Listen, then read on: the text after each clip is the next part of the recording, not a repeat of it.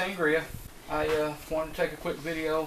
I uh, encountered something today that I haven't seen in probably 10 years.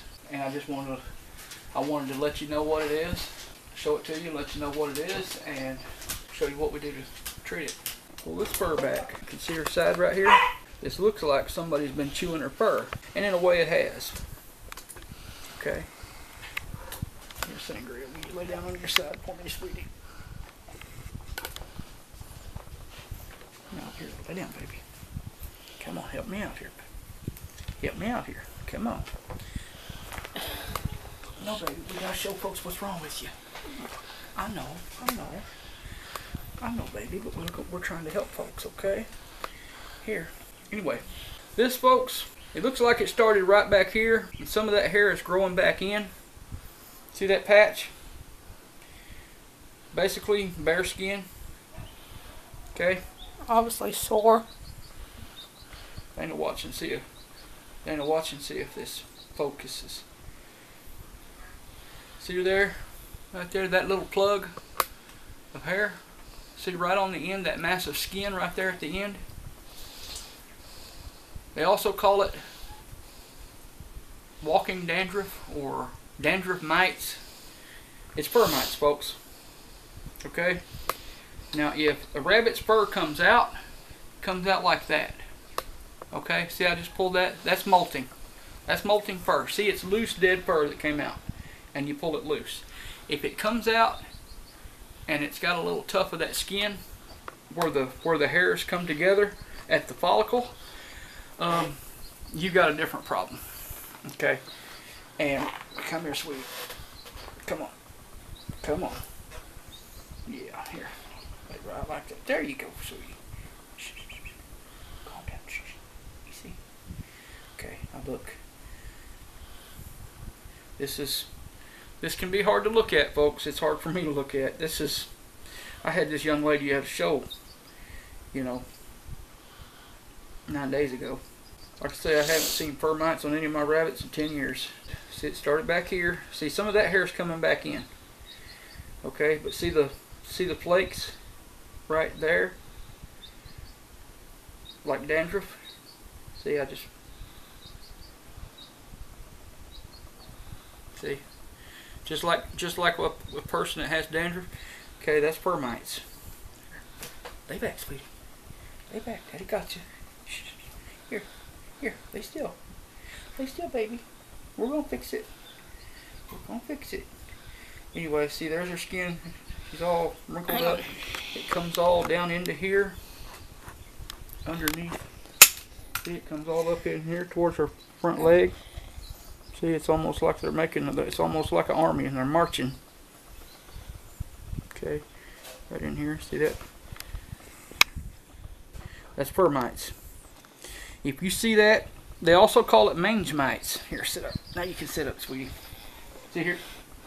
Well it's gone now. Folks if you see that in a rabbit in your rabbitry, the treatment, the only treatment that I trust, and a lot of people will is gonna is gonna scream and yell. I don't care. The only thing that I've ever used, and it's been a while since I had to use it, like I said, but the only thing that I had I've ever had, I've had some bad infestations of this in the past. The only thing I ever had to completely wipe it out was ivermectin. Sangria recently bred. It's not the best to give ivermectin to a rabbit that's pregnant. Unfortunately, I'm not going to let this continue. Sangria is only five or six days along if she bred. I'm not going to let this continue for almost a month. So my only option, or the option I'm going to take, is I'm going to give her the dose of ivermectin that she needs and hope for the best. Worst case scenario, she could lose her babies.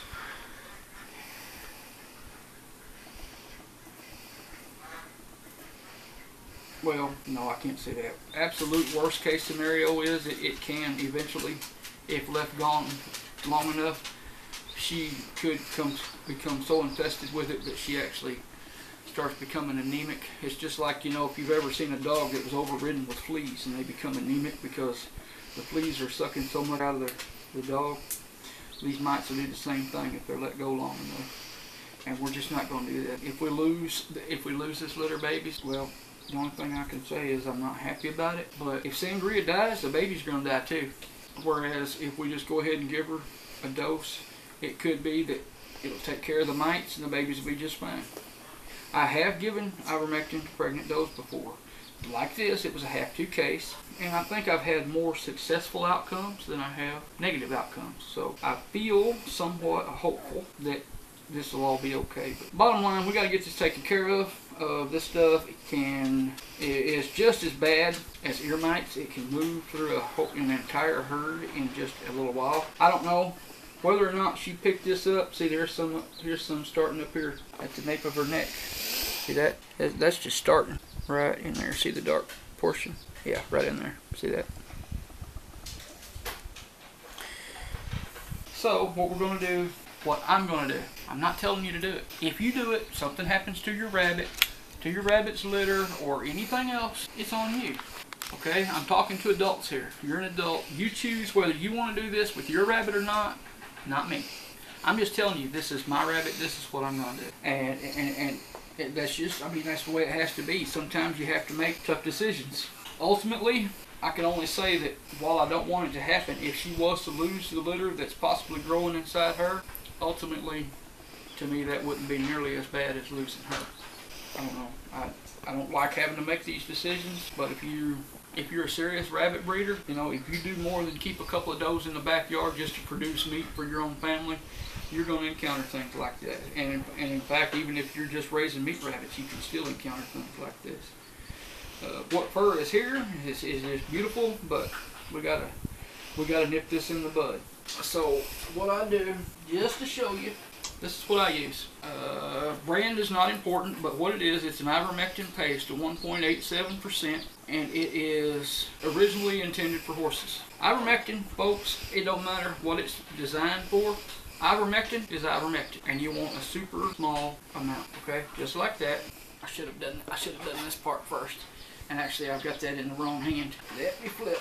Come here. Yeah, I know. I know you're gonna be difficult. Flip over there. There we go. There we go. Let's see if I can get this in you without getting my finger bit. What I do is I come right along the side here. Oh, oh, oh. Okay. Folks, this is a little tricky and I'm going to have to have an extra set of hands. So my cameraman or my camera lady is going to have to put the camera down. We're going to shut it off. We're going to get this done, then we're going to come back to you. It's all over but the crying. You saw the very small amount, okay? This ivermectin is concentrated. This whole tube right here is intended to treat a 1,250 pound horse. Anyway, it's quite a heavy animal, okay? And I'm holding, I'm holding a nine pound rabbit. Very, very small. You saw what I had. Hopefully you saw what I had on my finger. It's already done. I'm not doing it again, but it's just maybe about size of the, about half to two-thirds the size of a green pea. Now, what we did was, Dana, can you kind of bring your hands in here and kind of show everybody what you did with her lip? Here, I'll, I'll, let me let me lay her back. Come here. Just leave it running. I am pushing it down just a little. Okay. Okay, so Dana, while I was holding her with this hand and I had medicine on this finger. Uh oh. Now she's being ornery. Well, she didn't like the taste of it, probably. Just, no, just pull her, just pull her lip up, just like you did a while ago.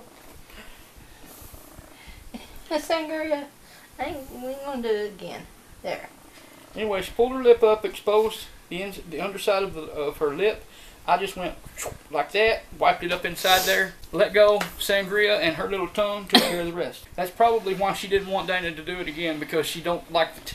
this is this is I don't think that I don't think what I got I don't think I paid attention and got the flavored kind. I used to get the kind that was apple flavored. And I think what I got, I got the wrong stuff, and I don't. I think this just tasted like medicine. And she's not happy with that at all, are you, baby? Hmm. She thought we was gonna put some more in there. Yes, she did. Mm-hmm. Okay, that's what I do, folks. I'm not telling you to do it. If you do that with your rabbit, if this rabbit dies, because you can overdose a rabbit on ivermectin, and it will die. That's something that you face. You have to be very careful. A very small, minute amount. Actually, it's better. It's better if you keep if you if you keep the injectable around. But un unfortunately, I use so very little ivermectin that it I've used about if I buy the the little the smallest injectable bottle that I can get, and I think it's about thirty bucks. I'll, I will have used about that much out of that bottle by the time it goes out of date. That's why I buy that. I can't see throwing a thirty dollar bottle away and use that much out of it. I can get that for about four bucks. When it goes out of date, I've lost a lot less if I have to chunk it and get another one. And sometimes I can catch this at Orscheln Farm and Home. Sometimes I can catch these on sale for like two ninety nine. And uh, you know, uh, and these keep longer. These keep a lot longer. Somehow this is made. I don't know. I don't know how exactly. But see this right here. I've already had this a little while, and this is good until February of 2018. I don't think I don't think what you get in the injectable, I don't think it keeps that long, even in the refrigerator. Actually, I don't remember. It's been so long. I don't even remember if ivermectin has to be kept refrigerated. Probably does, since it's an injectable. Uh, anyway, that's what we do. Be careful, folks. You're better off giving less when it comes to this ivermectin stuff, especially if you're using the paste. Less is more. What about quarantine or stay away from the other rabbits? Well, by the time that you've caught this, here's the deal. Did she bring this home from the show? We don't know. Did she take it to the show with her? We don't know. Okay? So what we don't know, what rabbits has she been in contact with then, with since then? She was in a carrier right next to Romeo. No. She actually had bred with Romeo after we after a couple days after the show, And she is next to Salt. and she housed it next door to Salt. But here's the thing: they're being these guys are being kept in a wood building. Wood hutches is one of the one of the, is one of the things that the mites live in that make it hard to get rid of. How far could they have propagated through the building to the other side? I don't know. Ideally, you can either A, keep a very close watch on the rest of your herd, treat those that you know have came in direct physical contact. If the rabbit's been bred, if the rabbit is next door to a cage, is, is next door in a multiple hole cage that's only got a wire partition. You know how our cages are made? We've got three three holes and only a wire partition. Those rabbits can come in contact with each other. That means that rabbit that's next door needs to be treated, and possibly the one next door, because if the one in the center has been treated or has been infected, they could have turned around and handed it to the, their neighbor on the other side. It moves quick. Unfortunately, this is not as easily treated as ear mites. Ear mites, you know, uh, once a week for three weeks, drop about a half a cap full of mineral oil in each ear, and you're done. This, unfortunately, takes a chemical that I'm not happy having to use. But I am happy that this is something that normally, if you take proper quarantine measures, get everybody that the rabbit has come in contact with in a reasonable period of time, one treatment's enough. Because what this is is you're giving this ivermectin to this rabbit, and it's actually getting in her bloodstream, and the and the mites that are going to continue, that are still on her, that are going to continue to try to feed on her. Within just a short period of time, that ivermectin is going to be flowing through her bloodstream, and when they suck her blood, they're going to get the ivermectin, and it's going to kill them. It's uh, it's just like the little pill in a way that you can give dogs and cats for fleas, except this is for fur mites. The same stuff, it'll work on ear mites too just so you know. But wouldn't you rather just put a drop of oil in the rabbit's ear than give it a chemical that could kill it? I would. That's why I never. That's why, I, why when I did the ear mite video, I didn't suggest putting uh, giving ivermectin to the rabbits for ear mites. The mineral oil is so much better and safer. But in this case, ivermectin, one dose, one dose. Now, on the other hand, you know, I say you can over. I say you can overdose a rabbit with it. Never have if anything, I probably, I still give more than what the rabbits need because it's, it's not accurate dosing, folks. Like I said, we don't have rabbit savvy veterinarians around here. Uh, I told you that in, in when I did the mastitis video with uh, Marble. We're pretty much on our own. You know, if we can't fix them ourselves, we either have to, you know, we can't fix them ourselves, they either die from their affliction or we have to call them. So this is this is why we do what we do.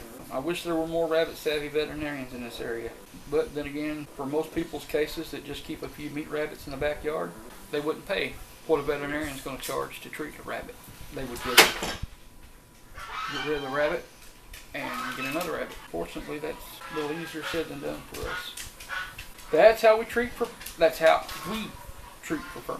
If you treat that way for fur mites, good luck. And if you have successfully treated fur mites with ivermectin, and your rabbit was well, just like Sangria is going to be well, leave us a comment. We'd like to hear about it.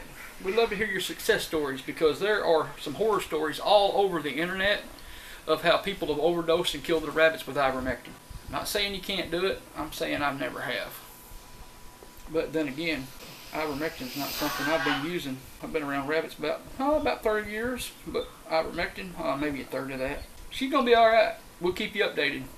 Anyway, we uh, I saw that. We had to get her treated, but I wanted to be able to share with you and show you what it looks like, show you what we do about it. I hope this helps somebody. Drop us a comment, hit the like button if you like this video.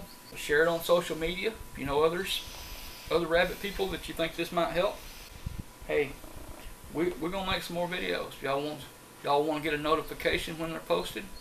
Hit that subscribe button. You get an email notification as soon as we have a new video to be posted. Thank y'all for watching. God bless.